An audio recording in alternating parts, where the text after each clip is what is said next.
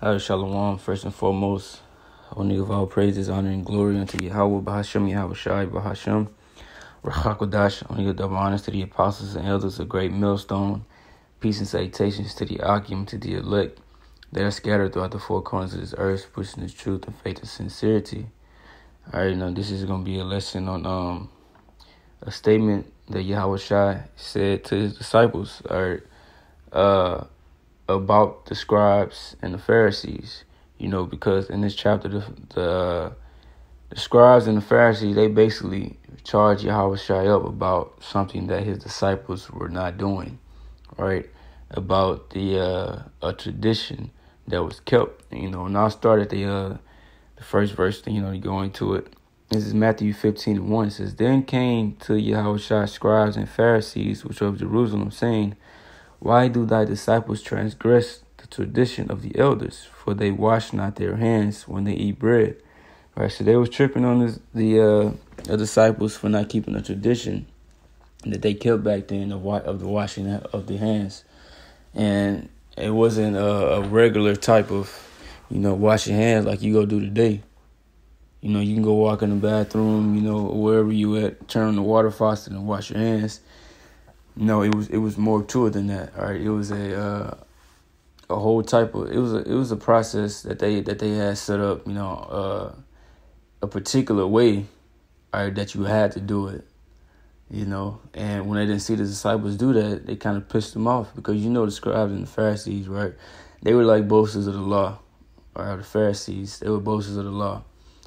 So you know they were kind of offended at that. But they led Yahweh Shai to say this statement down here, uh, Matthew 15 and 11 says, Not that which goeth into the mouth defileth the man, but that which cometh out of the mouth, this defileth the man.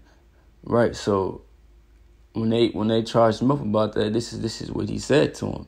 Right? It ain't about what goes into the mouth that defiles you, but it what comes out. Right? And they wanted to, and the disciples wanted to know what did he mean when he said that. Right? And uh I'll jump down to verse 15. Then answered Peter and said unto him, Declare unto us this parable. And Yahweh said, Are ye also yet without understanding? Do not ye yet understand that whatsoever entereth in at the mouth goeth into the belly and is cast out into the draught? But those things which proceed out of the mouth come forth from the mind, and they defile the man.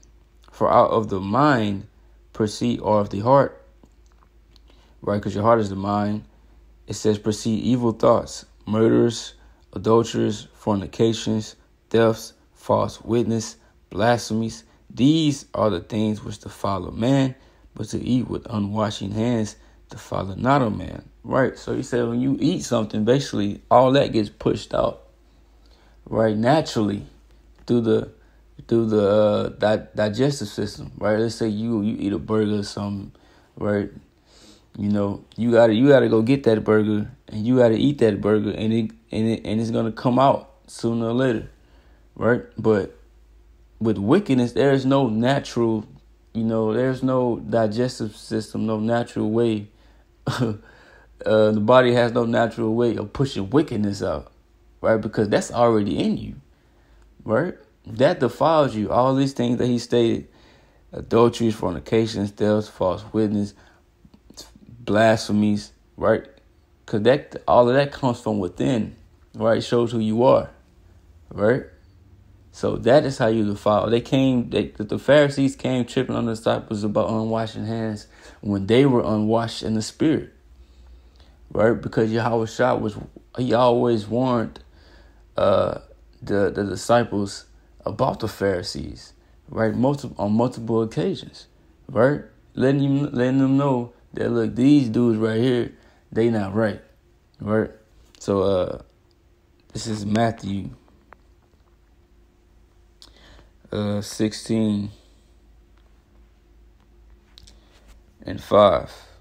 And when his disciples would come to the other side, they had forgotten to take bread.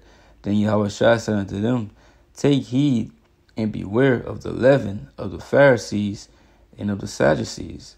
Right? And they reasoned among themselves, saying, Is it because we have taken no bread? Right? So he said, Beware of the leaven. And the disciples thought that he was actually talking about, you know, physical bread. But this is what Yahweh Shai told him. It says, uh, verse 8, which when Yahweh Shai perceived, he said unto them, O ye of little faith, why reason ye among yourselves because ye have brought no bread?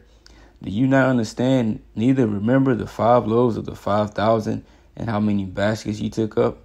Neither the seven loaves of the four thousand and how many baskets ye took up? How is it that ye do not understand that I spake it not to you concerning bread, that ye should beware of the leaven of the Pharisees and of the Sadducees? Right? He said, man, y'all, are y'all serious, bro? Y'all actually think I'm talking about real bread, bro. Did, did y'all not just see me do these miracles? You know, feed feed all these people with the with the few food that you had, right? Feed these these great multitudes, right, with the few bread that you had, bro. That's, that's not what I'm talking about, right? He said, then then understood they how that he bade them not beware of the leaven of bread, but of the doctrine of the Pharisees and of the Sadducees, right? So what is that leaven going into? You know, because you, you see that it's not talking about actual bread, but he said of the doctrine. How could there be leaven in the doctrine? What does leaven represent? This is First Corinthians five. I started six. It says, "Your glorying is not good. Know ye not that a little leaven leaveneth the whole lump? Purge out therefore the old leaven, that ye may be a new lump, as ye are unleavened. For even Yahweh Shai Passover is sacrifice for us. Therefore, let us keep the feast not with old leaven, neither with the leaven of malice and wickedness, but with the unleavened bread of sincerity and truth. So that leaven, right? Me read verse 8 it says, neither with the leaven of malice and wickedness. So leaven represents wickedness, right? So he, when he said, beware of the leaven of the scribes and I mean, of the Pharisees and the Sadducees, he was talking about they would basically call them some wicked niggas, basically. All right, saying, look, man, watch out for these dudes, man. Hey, they ain't right. These dudes are wicked, right? And that's why it was funny because they they they was Cause like I said, they were boasters of the law. They charged them up. I'm like, man, why they ain't why they ain't keeping the traditions? You know, they ain't washing their hands, this and that. And y'all tried to get on their ass. Like, bro, y'all y'all niggas are wicked, right? Cause he cause Yahweh Shai, he he he knew people's thoughts, right? He he he he knew their thoughts, so he knew that they were wicked, man. He knew that they were defiled, right, on the inside. Right? And they were worried about unwashing hands. Right? And they and they needed to be washed in the spirit. This is uh Ephesians 5 and 26. It says uh that he might sanctify and cleanse it with the washing of water by the word. So this this this word all right, is the ultimate washing. This this this word cleanses you. Right? This word sanctifies you. This is John 17 and 17. Sanctify them through thy truth. Thy word is truth. Right? And when you go into this word sanctify, right, one of the definitions, uh, like if you read from uh, number three, it says to purify, to cleanse externally, to purify by expiation, free from the guilt of sin to purify internally by the renewing of the soul. Right? So this word renews your spirit. Right? That's why Yahweh Shai always say you had to be born again. Right? Put off that old man and become a new man. Right? This is Psalms 119 and 9. It says, Wherewith us, wherewithal shall a young man cleanse his way? By taking heed thereunto according to thy word. And the, the, the scribes and the Pharisees, uh, those certain particular men, right? They did not take, they wasn't taking heed to the to uh, to the commandments or to the words of the Most High. They were just talking it, right? So they weren't cleansed. They were unwashed, right? Because what the Yahweh say in Matthew twenty three? Then spake Yahushua to the multitude and to his disciples, saying, The scribes and the Pharisees sit in Moses' seat. All therefore whatsoever they bid you observe, that observe and do. But do not ye after their works, for they say and do not. See, it said they say and do not. They saying they saying all these great things. Yeah, we keeping this, we keeping that, this law and that law, right? They trying to force force everybody to you know to to to keep all these traditions and all these laws when they ain't even keeping it themselves, right?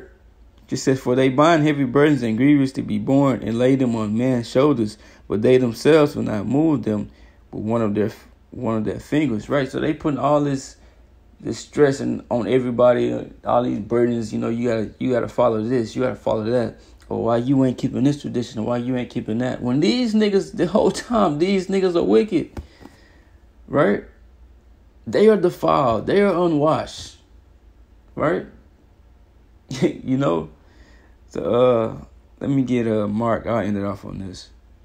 Mark seven and eighteen, and he said unto them, Are ye so without understanding? Also, do ye not perceive that whatsoever thing from without entereth into the man, it cannot defile him, because it entereth not into his heart or his mind, but into the belly, and goeth out into the drought, purging all meats. And he said, That which cometh out of the man, that defileth the man. From for from within of the heart men proceed evil thoughts, adulteries, fornications, murders, thefts, covetousness, wickedness, deceit, lasciviousness, an evil eye, blasphemy, pride, foolishness. All these evil things come from within and defile the man. See? So all of these things come from within you. They are in you already. Right? And you have to you have to purge those things up. You have to get those things up out of you. Right? You have to become a new man. And and, and they they they wasn't they wasn't really following or really was about, you know, the word of the most high. They were just pretenders. They were hypocrites. The whole Matthew 23, Yahweh Shai was getting on them, telling them they were hypocrites right? But like I said, like your body has a, your body is gonna uh push out, you know, whatever you eat, right? But your body doesn't push out wickedness. You gotta push it out, right? You gotta get that shit up out of you, you know. and that's just something that they did not do, right?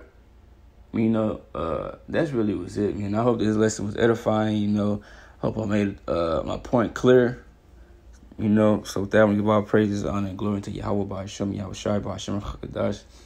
Double honors to the apostles, elders of great millstone. Peace and salutations to the occupant, to the elect that are scattered throughout the four corners of this earth, pushing this truth and faith and sincerity. Shalom.